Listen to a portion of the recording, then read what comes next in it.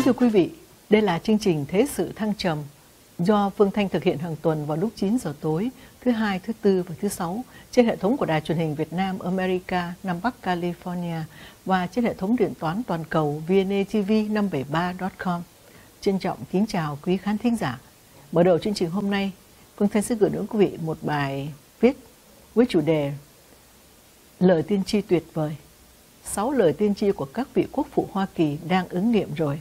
Thực bài viết này của tác giả Thành Dung. Khi hiến pháp Hoa Kỳ được xây dựng, những vị quốc phụ Hoa Kỳ về cơ bản đã ủy thác quyền quản lý của chính chúng ta cho người dân của đất nước này. Khi làm như vậy, họ cũng chấp nhận sự mong manh bởi khiếm khuyết trong nhân tính của con người. Đồng thời nhận thức được rằng cuộc thử nghiệm ngày của Hoa Kỳ đầy rẫy nguy hiểm. Lòng tham và sự tha hóa là những đặc trưng không thể tránh khỏi của con người. Nhà văn Ricky Scott có trụ sở tại New York đã viết trên Daily Wire vào ngày 19 tháng 2 rằng từ Tổng thống Washington đến Tổng thống Thomas Jefferson, những vị cha lập quốc đã sử dụng hiến pháp để cung cấp cho người dân Mỹ một khuôn khổ thành công, đồng thời cũng để lại lời cảnh cáo tiên tri rằng thí nghiệm tuyệt vời này của Hoa Kỳ có thể gặp sai sót. Họ đã để lại 6 dự ngôn ớn lạnh, hiện đang dần dần ứng nghiệm. Thứ nhất, Quốc phụ Benjamin Franklin cho rằng bộ máy quan liêu được trả lương có thể tạo ra các chính trị gia chuyên nghiệp.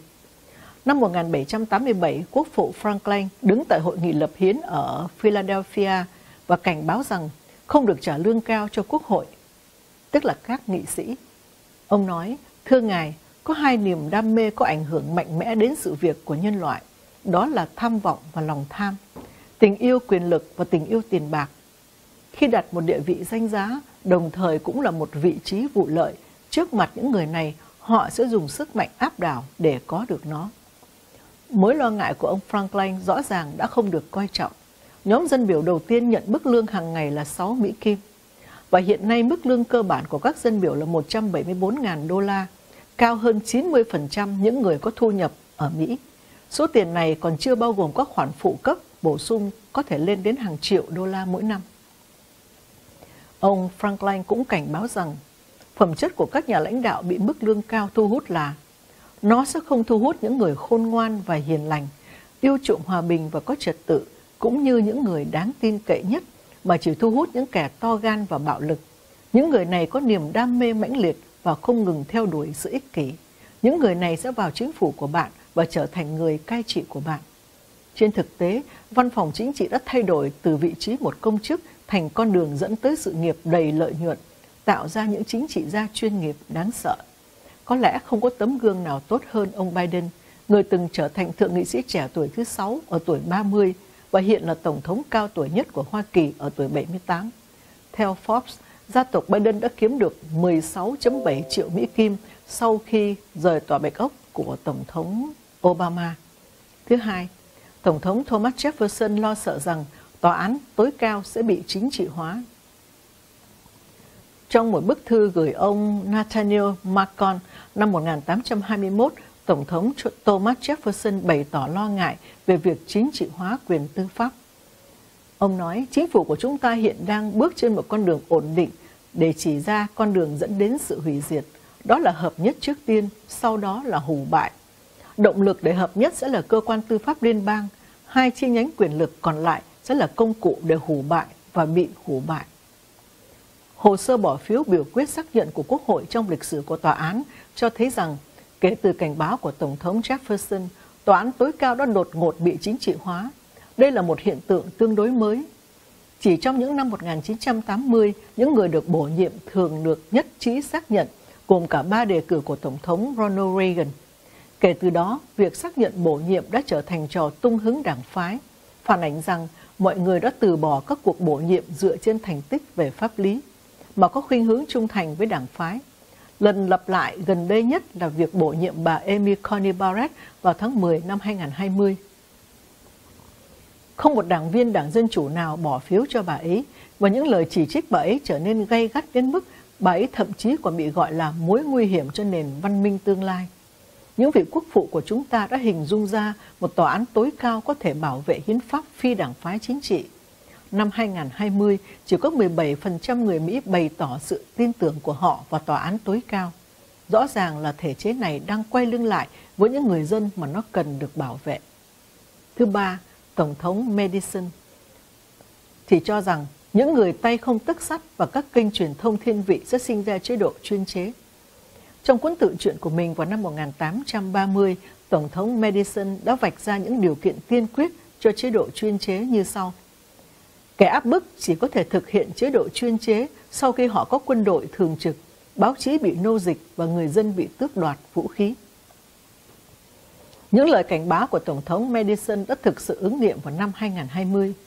Từ sự đe dọa trắng trợn của chính quyền Biden đến tù trên án thứ hai và chủ nghĩa đảng phái cực đoan của các kênh truyền thông truyền thống. Tỷ lệ báo cáo tích cực giữa một số tổng thống gần đây đã dao động rất nhiều, từ báo cáo tích cực 5% về Tổng thống Trump đến báo cáo tích cực 42% về Tổng thống Obama. Trên thực tế, các kênh truyền thông chia các chính trị gia thành những người luôn luôn đúng và những người luôn luôn sai. Với kiểu tiêu đề như đệ nhất phu nhân Joe Biden đội khăn trùm đầu khi đi mua sắm, mọi người nghĩ rằng nó trông đẹp. Mô hình này dường như sẽ được tiếp tục. Không có gì lạ về kỷ lục 1 phần 3 người Mỹ nói rằng họ hoàn toàn không tin tưởng vào giới truyền thông.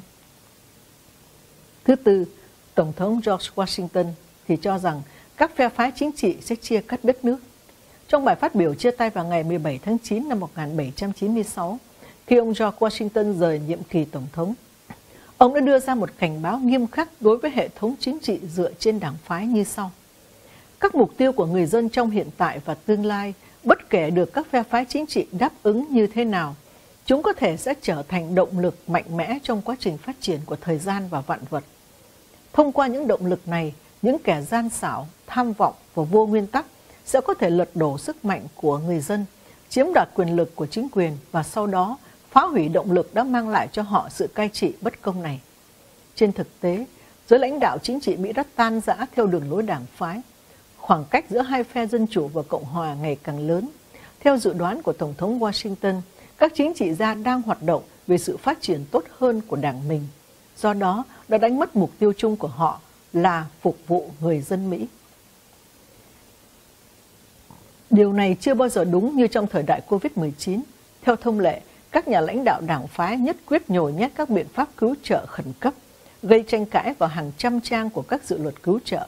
Trong quá trình này, họ cố tình cản trở việc hỗ trợ cần thiết cho công dân nhằm thực hiện chương trình nghị sự của đảng mình. Vì vậy, ngôn luận đã phát triển thành một cuộc đối đầu giữa chúng ta và họ, thậm chí là giữa thiện và ác. Hầu hết chúng ta đều nghĩ xấu về nhau.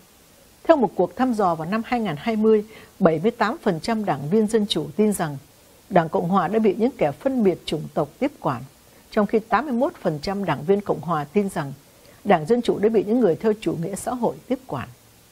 Các đảng phái chính trị không chỉ khiến chúng ta ghét các chính trị gia, chúng còn khiến chúng ta nghĩ xấu về nhau nữa. Một cuộc khảo sát năm 2017 thậm chí còn cho thấy Đảng Dân Chủ tin rằng 50% đảng viên Cộng Hòa ủng hộ chủ nghĩa dân tộc da trắng. Hậu quả của kiểu chiến tranh đảng phái này có thể rất thảm khốc. Một cuộc thăm dò vào tháng 10 năm ngoái cho thấy gần 2 phần 3 người Mỹ tin rằng đất nước đang trên bờ vực của một cuộc nội chiến khác. Thứ năm, quốc phụ Benjamin Franklin thì cho rằng đừng đặt an toàn lên trên tự do. Tại một hội nghị ở Pennsylvania vào năm 1755, ông Franklin đã chỉ trích việc sẵn sàng từ bỏ tự do trong một bức thư trả lời thống đốc rằng những ai sẵn sàng từ bỏ tự do cơ bản và mua một chút sự an toàn tạm thời thì không xứng đáng được tự do và cũng không đáng được an toàn. Có lẽ ví dụ tốt nhất về việc từ bỏ tự do vì an toàn là trong một trận đại dịch. Bất chấp các dữ liệu ngày càng phát triển và tỷ lệ tử vong cực kỳ thấp ở các nhóm không có nguy cơ cao. Quốc gia này đã tiến đến giai đoạn trì trệ kéo dài gần một năm và không có hồi kết.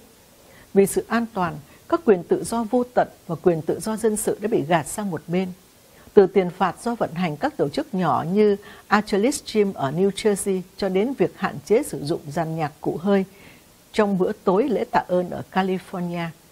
Tình hình trở nên nghiêm trọng đến mức tòa án tối cao thậm chí đã phải bảo vệ quyền hiến định được tự do tham gia vào các hoạt động tôn giáo.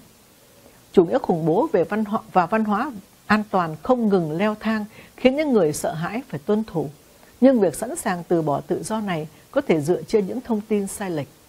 Một cuộc khảo sát vào tháng 6 năm ngoái cho thấy ước tính số người chết trung bình do COVID-19 ở Hoa Kỳ gấp 225 lần số người chết thực tế được báo cáo. Dưới chiêu bài an toàn, nhà cầm quyền đã tận dụng tối đa sự cuồng loạn để chiếm đoạt quyền lực chưa từng có. Còn chúng ta lại có nguy cơ mất tự do khi tuân theo các lệnh phong tỏa ngày càng vô căn cứ và nghiêm trọng. Đây không chỉ là sự tự do, mà trong quá trình này, chúng ta đang phá hủy nền kinh tế của mình, thậm chí gây ra sự tổn hại không thể cứu vãn được cho con cái của chúng ta. Thứ sáu, Tổng thống Adams lo lắng rằng các thế hệ tương lai sẽ coi tự do là điều đương nhiên. Trong một bức thư gửi người vợ Abigail của mình năm 1777, Tổng thống Adams than thở rằng những hy sinh của thế hệ lập quốc Hoa Kỳ có thể sẽ bị con cháu mình lãng quên như sau. Hỡi hậu thế, các bạn sẽ không bao giờ biết đến thế hệ của chúng tôi vì cái giá phải trả để duy hộ tự do cho các bạn thật lớn biết bao. Tôi hy vọng các bạn sẽ tận dụng nó. Nếu không, trên thiên đàng tôi sẽ hối hận vì đã cố gắng hết sức để bảo vệ điều này. Ngày nay, những lời cảm thán này khiến lòng người không khỏi chua xót. Mặc dù chúng ta đang sống ở quốc gia tự do nhất trong lịch sử, nhưng một cuộc thăm dò vào tháng 6 năm 2020 cho thấy tỷ lệ công dân tự hào là người Mỹ đã đạt một mức thấp mới. Có lẽ là bởi hầu hết người Mỹ không bao giờ biết đến cuộc sống tự do là như thế nào. Nếu không có Tổng thống Adams và thế hệ cách mạng và chúng ta đã không biết ơn đầy đủ về nền tự do khó giành được này. Trong số học sinh lớp 8, chỉ có 18% hiểu biết về lịch sử Hoa Kỳ và chỉ có 7% người Mỹ có thể kể tên bốn vị tổng thống trước đó, tất nhiên gồm cả Tổng thống Adams. Vậy tại sao 244 năm sau, lời kêu gọi của Tổng thống Adams lại khiến hậu thế đắng lòng? Chúng ta không quên những hy sinh mà ông ấy đã thực hiện để bảo vệ tự do cho chúng ta, bởi thậm chí ngay từ đầu chúng ta còn không biết đến những hy sinh này. Và thưa quý vị, đây là bài viết của tác giả Thành Dung theo Vision Time. Và thưa quý vị, quý vị đang theo dõi chương trình Thế sự thăng trầm. Phương Thanh sẽ trở lại ngay sau phần thông tin thương mại. Và thưa quý vị, Phương Thanh sẽ mời quý vị coi một cái à, hình John Kerry Families để quý vị coi thấy như thế nào.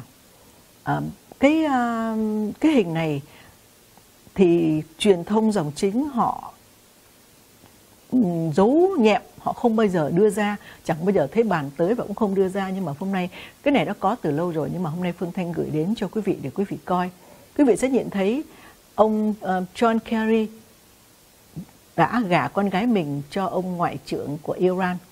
Và hiện nay thì ông John Kerry quý vị ờ, xin cái hình cho lớn lên luôn cả một khung hình.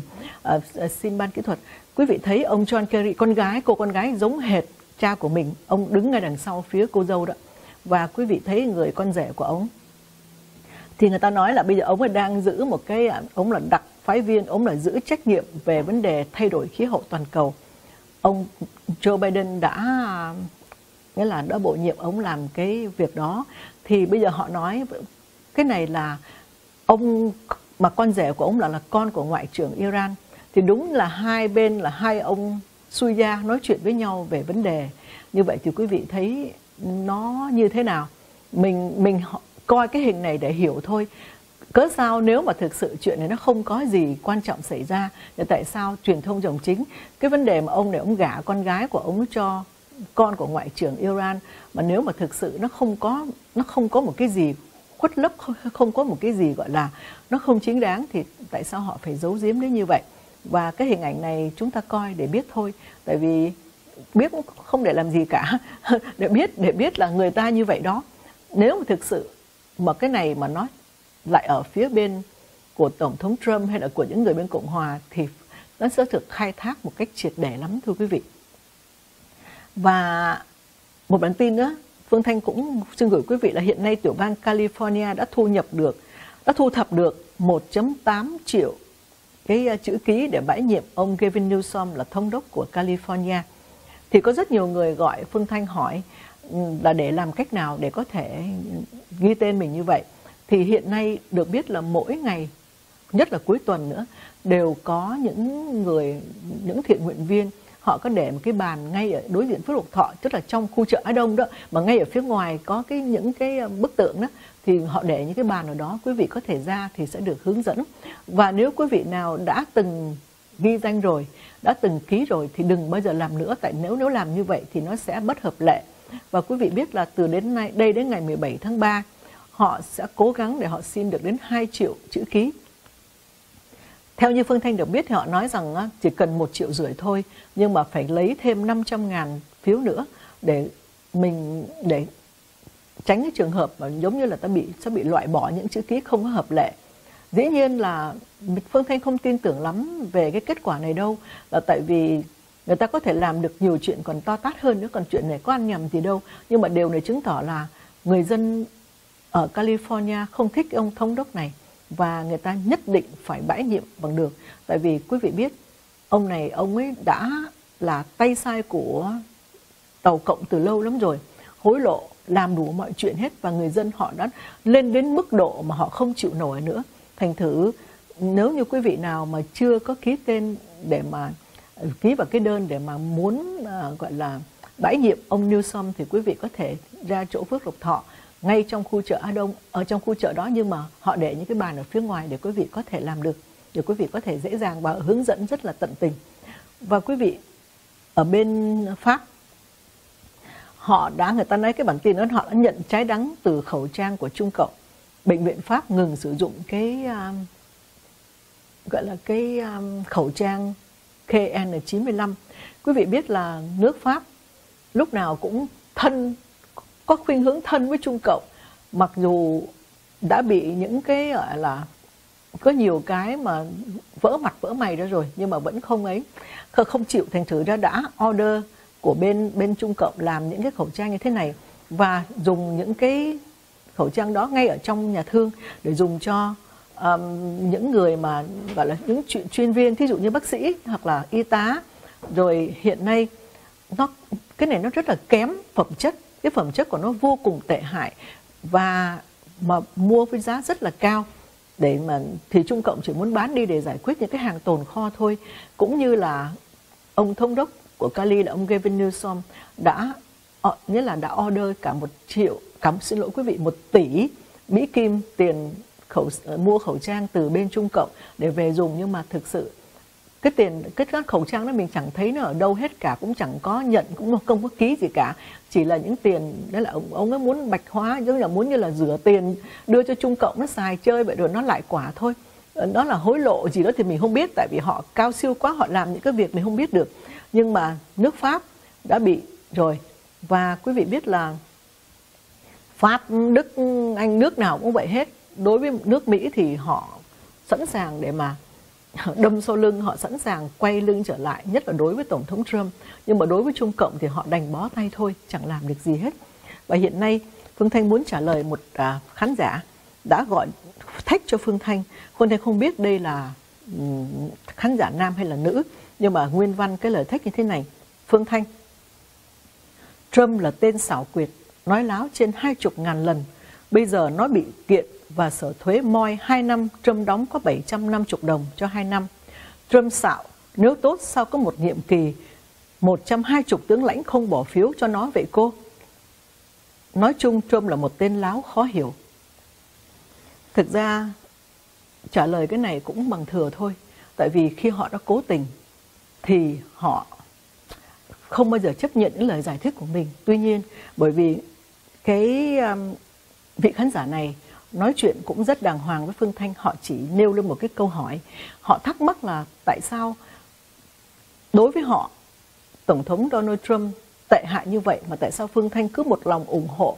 Và cho tới giờ phút này, Phương Thanh vẫn chưa hề có một cái điều gì gọi là coi như thất vọng về tổng thống Donald Trump hoặc là không có, coi như là không có thay đổi gì cả.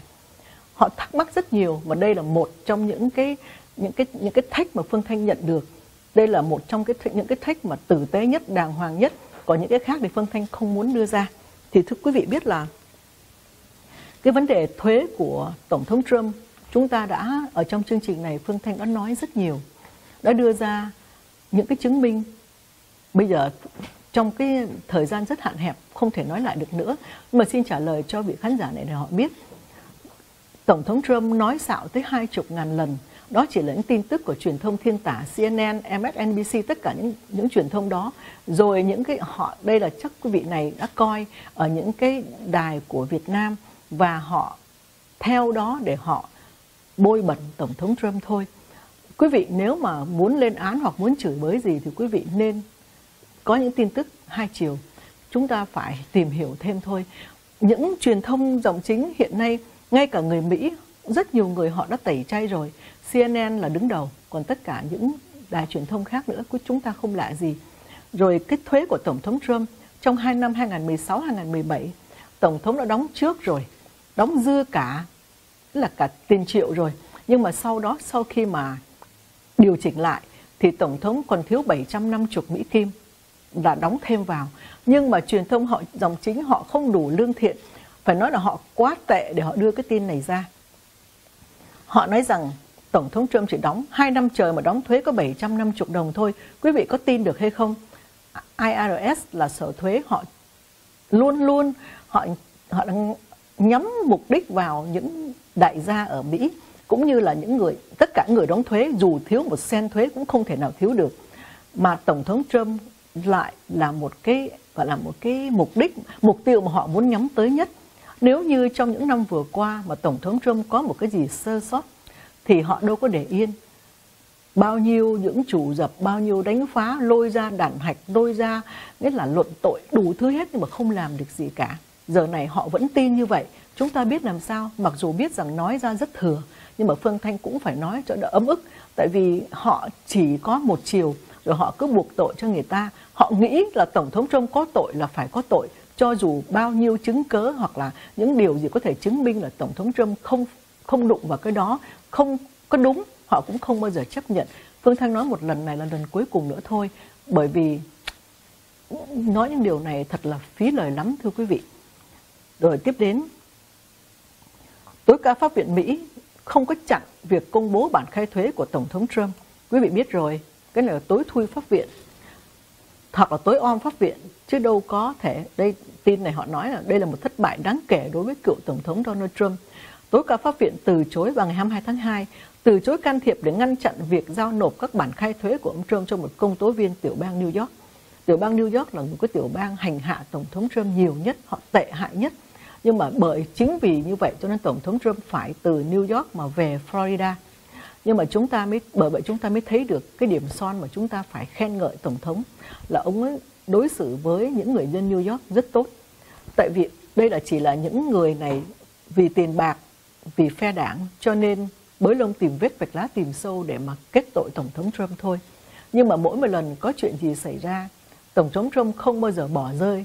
Người dân của những tiểu bang mà vẫn thường thường chống đối ông, không bỏ phiếu cho ông, khác hẳn với Joe Biden hiện nay. Ông cứ vỗ ngực tự xưng mình là Tổng thống thứ 46 của Hoa Kỳ. Phương Thanh thì không không bàn tới chuyện đó, nhưng mà có điều cái là ông cứ nói như vậy, nhưng mà tiểu bang Texas là một tiểu bang Cộng Hòa và trong thời gian vừa qua họ ủng hộ Tổng thống Trump tối đa. Cho nên cho đến giờ phút này họ tổng tiểu bang Texas đã bị một cái thiên tai rất nặng nề và người chết rồi rất là thê thảm. Người chết đã đành rồi còn người sống chịu cái cảnh lạnh buốt giá rồi điện không có rồi tất cả mọi thảm họa người dân Texas bị vừa qua Ông ở trong cương vị của một vị tổng thống hiện nay, mặc dù ai bầu ai biết thì không biết, nhưng mà có điều ông không hề ngó ngàng tới dân Texas. Và hiện nay ông lại còn nói là khi mà khi mà họ đã bình thường trở lại, không còn cái đó nữa rồi họ bắt đầu nghĩa là cuộc sống bình thường, khí hậu đã trở lại thì ông bắt đầu, ông mới đầu bắt đi qua bên Texas. Qua bên đó để làm gì, trong khi không có một sự trợ giúp nào. Mình, thế mình mới thấy được là mình mới, mình, bởi vậy phải có người xấu thì mới biết được tính tốt của người khác.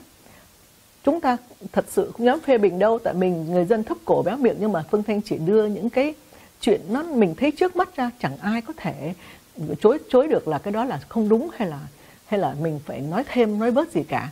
Đó mới là để cho những người, rất nhiều người, rất nhiều cử tri của đảng dân chủ bây giờ hối hận vì đã bầu cho ông Joe Biden.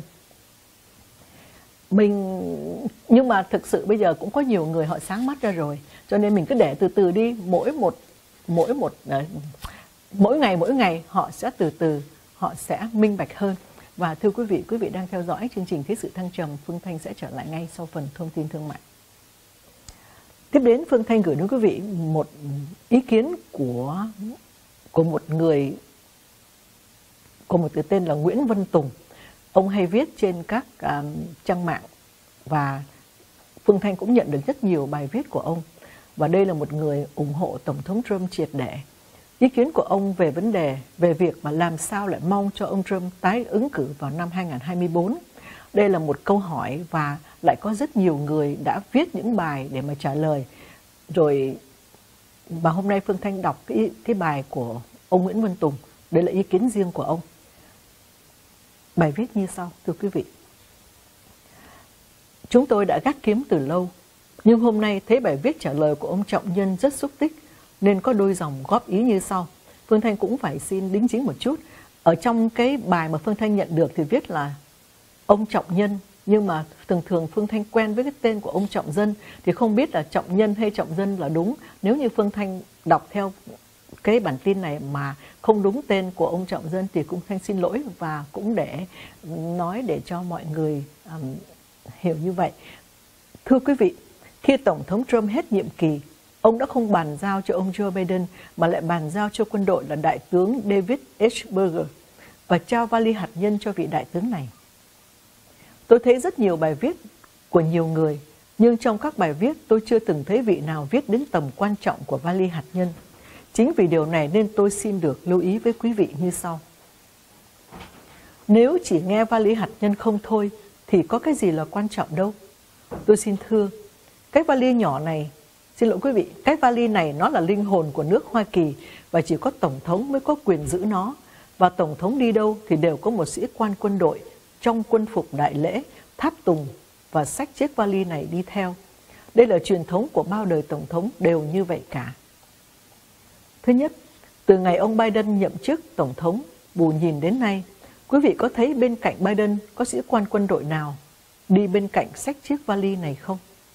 Tôi xin thưa là không, vì chiếc vali này vẫn còn trong tay Đại tướng David H. Berger và lãnh đạo đất nước Hoa Kỳ hiện nay là quân đội chứ không phải là ông Joe Biden. Thứ hai, sau khi tuyên thệ xong, ông Biden đã không được quân đội đi cùng về Tòa Bạch Ốc, không nghe 36 tiếng đại bác chúc mừng và cũng không có những phản lực cơ bay trên vòm trời DC để báo hiệu cho toàn dân biết hôm nay Hoa Kỳ có tân Tổng thống. Thứ ba, ông Biden về đến Tòa Bạch Ốc lại không được quyền vào văn phòng của Tổng thống Hoa Kỳ, mà phải tạo dựng bên ngoài Tòa Bạch Ốc một văn phòng của Tổng thống để ngồi ký 42 sắc lệnh hành pháp. Và trong 42 sắc lệnh này chưa được thi hành một cái nào cả là tại sao? Thứ tư, Joe Biden xoa dịu Trung Cộng nhưng khi Tập Cận Bình tăng viện cho Biển Đông và đe dọa Đài Loan cùng những quốc gia khác, tại sao Bộ Quốc phòng không ra lệnh rút bớt quân đi mà còn tăng viện thêm những hàng không mẫu hạm, những pháo đài bay B-52, B-2 vân vân để yểm trợ Biển Đông kèm theo những đầu đạn tên lửa tới tấp đưa vào Đài Loan và các quốc gia khác. Thật sự, ông Joe Biden bổ nhiệm cựu tướng Gia Màu làm Tổng trưởng Quốc phòng chỉ là bù nhìn thôi, chứ thật sự Bộ Quốc phòng đã và đang điều hành bởi cựu Trung tướng Thomas Mark Kennedy cùng với Trung tướng Michael Flynn. Chính vì điểm này mà em trai của tướng Flynn mới được nắm chức vụ tư lệnh Thái Bình Dương. Tại sao ông Biden không bổ nhiệm hoặc bổ nhiệm tướng khác mà lại đi bổ nhiệm người em ruột của tướng Flynn? Điều này chứng tỏ ông Biden là bù nhìn, thì cũng bổ nhiệm ông Tổng trưởng Quốc phòng bù nhìn mà thôi, chứ không có quyền hạn hơn cựu Trung tướng Thomas McKennedy. Bộ Quốc phòng là cơ quan hành pháp bậc nhất nắm quyền điều binh khiển tướng trong quân đội, thay mặt Tổng thống mà không nắm giữ được, đủ cho ta thấy quân đội đang điều hành quốc gia. Tổng thống mà không được quân đội hậu thuẫn thì chỉ là bù Tổng thống bù nhìn không hơn không kém. Tổng thống Trump đã đôi ba lần lập đi lập lại là ông sẽ trở lại bằng một hình thức nào đó. Căn cứ câu nói này cho ta thấy ông đi và ông trở lại đều nằm trong điều tối mật của quân sự. Vì thế, chắc quý vị đã nghe và đã coi một vài YouTube nào đó nói về giờ Q hay giờ G và chúng ta không biết hai loại giờ này là gì. Nhưng chúng ta nên tin tưởng rằng quân đội sẽ đưa Tổng thống Trump về lại Tòa Bạch Ốc một cách ôn hòa như lời Tổng thống Trump mong muốn. Nghĩa là không có đổ máu khi ông về và phải bắt hết tất cả những công dân Mỹ nào trong đầm lầy để đưa ra tòa án quân sự xét xử, chứ không phải tòa án dân sự. Tôi còn nhớ Tổng thống Trump nói trước khi ông rời tòa Bạch Ốc để đi về Florida đã từng nói là sự việc bây giờ mới là bắt đầu. Như vậy là chưa kết thúc. Ngày nào kết thúc? Và ông còn nói rằng tôi sẽ không làm mọi người thất vọng. Chúng ta đừng nên tin vào những lời nói của đám truyền thông thổ tả rồi đưa ra bàn tán này nọ. Thú thật với các bạn, những đài truyền thông thổ tả tôi chỉ mở ngày hai lần, một cho thời tiết ban ngày vào buổi sáng và một cho buổi chiều để coi thời tiết ban đêm và ngày hôm sau. Sau đó tôi tắt vì có nghe chỉ điếc tai và thêm chi phối mà thôi. Thử hỏi từ ngày ông Trump chính thức ra tranh cử và sau đó là 4 năm làm Tổng thống, có ngày nào chúng khen ông Trump được một tiếng không? Không lẽ trong 4 năm làm Tổng thống, được 10 điều cho quốc gia và dân tộc lại không có một điều nào trúng sao? Không ai nắm tay thâu ngày tới sáng, thì ông Trump cũng có sai, nhưng không phải sai cả 10 mà phải nói là ông làm chúng 9 điều còn một điều sai. Vậy tại sao chúng không khen ông 9 lần và chê ông một phần sai để cho công dân Hoa Kỳ nhận định xem có đúng hay sai? Chúng làm như chúng là cha mẹ muốn nói sao thì nói, còn tất cả những người nghe đều là con cháu của chúng nên chỉ nghe chúng mới phải. Hỡi những ai đã tin vào lời của tụi truyền thông thổ tả và đem ra để phân giải thì nên cút ngay đi vì chúng tôi không cần những loại truyền thông này. Và chúng tôi tin rằng quân đội anh hùng Hoa Kỳ đang tìm cách để đưa Tổng thống Donald Trump của chúng tôi trở lại tòa Bạch Ốc. Thân mến chào quý vị, Nguyễn Vân Tùng, viết tại Houston ngày 24 tháng 2 năm 2021. Thưa quý vị, cái à, bản tin này chúng ta cứ coi như đây là ý kiến riêng, nhận định riêng của ông Nguyễn Văn Tùng. Và Phương Thanh muốn gửi đến cho quý vị, tại vì có từ hôm từ hôm 20 tháng 1 đến nay, có rất nhiều những tin mà chúng ta không kiểm chứng được.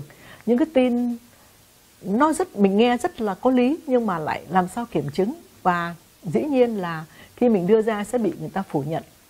Nhưng mà nhiều khi bây giờ chẳng có tin gì để nói cho quý vị, thì nói tin này để cho quý vị nghe. Quý vị muốn nghe cũng được mà quý vị không muốn nghe cũng không sao. Quý vị tin cũng được mà không muốn tin thì cũng không sao. Coi như là mua vui cũng được một vài chống canh đi. Mình cứ coi như vậy. Và những điều này dĩ nhiên là những cái điều mơ ước, mong ước của ông Nguyễn Văn Tùng cũng giống như những điều mong ước của chúng ta. Ừ, tại vì có rất nhiều người bây giờ họ đang nói đến, họ hỏi Phương Thanh rất nhiều ông Biden bây giờ có phải là Biden thật hay là ông Biden giả? Phương Thanh làm sao trả lời quý vị được? Dù Phương Thanh có những hình ảnh và biết những cái điều nhiều hơn thế nữa, nhưng mà thôi cứ để cho sự thật rồi thế nào nó cũng phải được phơi bày thôi. Và quý vị biết mọi người dân Hoa Kỳ đang hy vọng vào cái bản hiến pháp năm 1776 do các vị cha lập quốc đã lập nên. Ở trong đó, những người dân Hoa Kỳ được làm chủ chính mình. Và năm 1871, cái bản hiến pháp đó đã thay đổi. Không phải là thay đổi toàn cái bản hiến pháp mà chỉ thay đổi có hai chữ thôi. Thay vì người dân làm chủ mình thì nó là quốc hội làm chủ mình. Và hiện nay ông Joe Biden đang làm tổng thống với cái bản hiến pháp năm 1871. Và nghe nói, Phương Thanh nghe nói thôi nha, không kiểm chứng được. Nhờ quý vị kiểm chứng dùm đi. Cái bản hiến pháp đó hiện nay đã hết hạn rồi. Và mọi người đều hy vọng một cái điều lạ xảy ra vào một trong tuần tới, một vài ngày nữa. Chúng ta cứ chờ coi. Nếu không xảy ra thì chúng ta cũng vẫn bình thường thôi, chẳng mất mát gì cũng chẳng sao cả. Phương Thanh vẫn tin tưởng vào sự an bài của Thượng Đế. Và Tổng thống Trump là người vẫn chưa bao giờ chịu thua. Ông sẽ không nhìn nước Mỹ trong cái cảnh như thế này. Là tại vì 4 năm qua, ông đã làm được rất nhiều điều cho nước Mỹ. Tất cả những điều ông làm, các tổng thống Mỹ không có một ai có thể làm được. Tại vì chúng ta biết được rằng một điều nữa. London, London không phải thuộc về nước Anh. Vatican không thuộc phải thuộc về nước Ý. DC cũng không phải thuộc về nước Mỹ. Thì khi mà Tổng thống Trump khi lên làm Tổng thống, cái chủ đích của ông là tắt cạn đầm lầy và đưa nước Mỹ vĩ đại trở lại. Cái câu nói đó mình nghe nó rất bình thường thôi, đó là chỉ một câu nói thôi nhưng mà nó bao hàm vô cùng nhiều ý nghĩa. Lúc đầu thì mình chỉ nghĩ là Tổng thống Trump ờ, muốn cho nước Mỹ lúc nào cũng hùng cường. Nhưng mà nếu muốn hùng cường thì phải làm sao cho nó sạch sẽ, phải làm sao cho nó thực sự là người dân Mỹ phải nắm quyền lực ở trong tay. Thì Tổng thống Trump đã phải đụng chạm tới rất nhiều thế lực.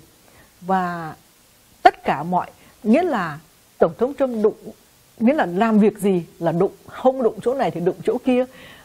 Mấy trăm năm nay, mỗi một cái nước Mỹ này, nó đã nằm nằm trong ở một cái nền nếp quen rồi. Và người ta cứ mỗi một tổng thống lên làm, họ biết rằng họ chỉ có 4 năm hoặc 8 năm. Họ cứ âm thầm, họ cứ làm việc cho hụ hợ cho qua, rồi họ vơ vét tiền cho đầy túi. Rồi họ khi mà họ trở về thì họ, trong tay họ cả trăm triệu trăm triệu cả ngoài những việc có vài tỷ ra cũng là chuyện rất thường thôi. Tại sao họ phải hy sinh như vậy? Đất nước này đâu phải của riêng ai. Mà họ phải làm những cái chuyện đó. Thứ nhất, thiệt hại cho tính mạng mình. Túi của mình lại không đầy nữa. Rồi mai mốt về, khi mà về thì không thể hưởng thụ được những cái những cái thứ vật chất. Tổng thống Trump dư thừa vật chất, cái gì ông cũng có rồi. Ông dấn thân để mà bảo vệ đất nước này. Bởi vậy chúng ta mới thấy ngoài tổng thống Trump ra, không ai có thể làm được những điều mà ông đã làm trong 4 năm vừa qua không phải là chúng ta mong đợi mà chúng ta đã thấy được kết quả rồi. Và hiện nay một vấn đề rất tế nhị và rất khó nói. Chúng ta cứ chờ đợi xem là tổng thống sẽ làm được gì cho chúng ta nữa cho đất nước này nữa. Một câu nói mà Phương Thanh thấy là không quá lời là tất cả 330 triệu người dân Mỹ đã nợ Tổng thống Trump một lời cảm ơn và một tấm lòng biết ơn. Thật ra, một lời cảm ơn mỗi người của chúng ta nói đến Tổng thống Trump cũng chỉ là những khuyến khích tinh thần để ông biết rằng việc ông làm là là đúng, không hề sai, đem lại tất cả những điều tốt đẹp cho nước Mỹ. Nhưng mà cái lòng cảm ơn của mọi người chúng ta phải biết được là ai đã giúp chúng ta lấy lại được tất cả những điều chúng ta, những người dân Hoa Kỳ, những người dân đen, những người dân mà trung lưu, nghèo khổ như chúng ta đây đã bị lợi dụng như thế nào, đã bị, nghĩa là tất cả những chuyện đó là chúng ta đã biết rồi. Những người dân của các nước độc tài hoặc là cộng sản đi, họ bị khốn khổ đã đành. Chúng ta sống ở một đất nước văn minh như thế này, giàu có nhất thế giới thế này mà chúng ta vẫn bị vẫn bị như thường thì hiện nay nếu so sánh chúng ta có khác gì đâu chúng ta không thể bây giờ chúng ta so sánh làm sao so sánh được với một cái nước mà chúng ta bỏ bỏ nước ra đi nước Việt Nam nó ở chế độ cộng sản nó thế này thế kia không ở được qua đây qua đây thì chúng ta lại đi vào con đường đó bị đặt vào con đường y hệt như vậy chúng ta lấy gì làm hãnh diện lấy gì để nói mà bởi vậy cho nên sự cầu mong tổng thống Trump trở lại vẫn là một cái điều mong mỏi của tất cả những người yêu tổng thống Trump và những người những người mà đã bỏ phiếu lầm cho người khác mà không bỏ phiếu cho tổng thống Trump họ cũng có một cái một một cái nỗi niềm như hệ chúng ta vậy. Và thưa quý vị, đến đây chương trình đã hết giờ rồi. Phương Thanh mời quý vị bấm vào nút subscribe và nhấn chuông để có thể tiếp tục nhận những chương trình mới. Phương Thanh cầu chúc quý vị một đêm ngủ thật bình an, một cuối tuần vui vẻ và hạnh phúc. Và xin kính chào tạm biệt quý vị.